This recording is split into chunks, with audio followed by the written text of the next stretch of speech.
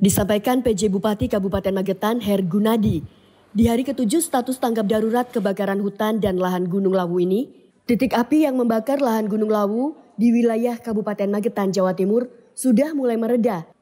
Akan tetapi tidak menutup kemungkinan api dapat muncul kembali. Menanggapi hal tersebut, saat ini tim petugas gabungan bahkan relawan masih tetap disiagakan di lokasi kebakaran hutan dan lahan Gunung Lawu guna mematikan titik-titik api yang diduga masih terdapat sisa-sisa kebakaran yang nantinya dapat memicu munculnya api. Dalam hal tersebut, pemadaman pada titik yang diduga menjadi penyebab kebakaran lahan hutan Gunung Lawu ini dilakukan sementara dengan cara manual, dengan alasan pada saat ini helikopter waterbooming masih melakukan fokus pemadaman kebakaran hutan dan lahan Gunung Lawu pada titik area wilayah Kabupaten Ngawi dan Kabupaten Karanganyar, Jawa Tengah. PJ Bupati Magetan Hergunadi menambahkan bahwasannya ia juga akan menemui co-pilot helikopter waterbooming guna melakukan koordinasi lebih lanjut terkait apakah perlu dilakukan pemadaman lanjutan dari pihak terkait atau pihak helikopter waterbooming tersebut. Jadi gini, kan Magetan sudah tinggal sedikit ya, kan paling di Bendaku.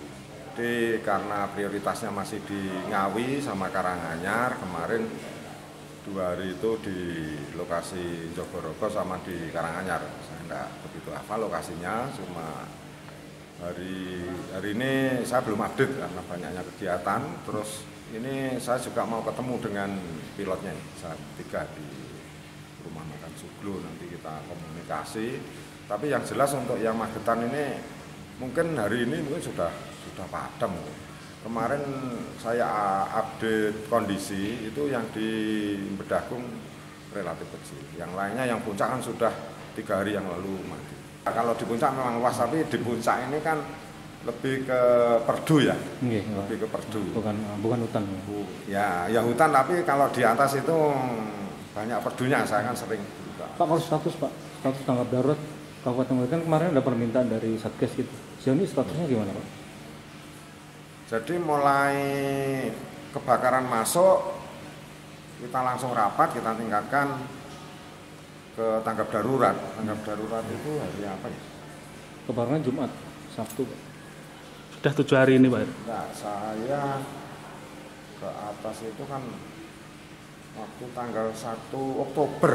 Nah, 1 Oktober itu kan langsung kita rapatkan, besoknya kita keluarkan tanggap darurat. Jadi sebelumnya kan siaga tanggap darurat, hmm. siaga tanggap darurat ini sampai akhir Oktober, tapi ternyata kan tanggal 1 itu kan sudah mulai kebakar, satu malam itu kan sudah mulai kebakar.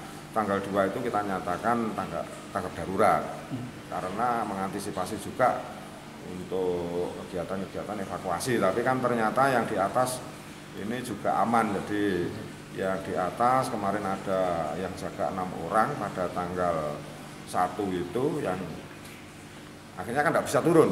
Tapi tanggal 2 saya ke atas itu posisi yang petugasnya sudah turun. Tinggal yang Boyem sama beberapa petugas di atas. Dari Magetan tim liputan Garda TV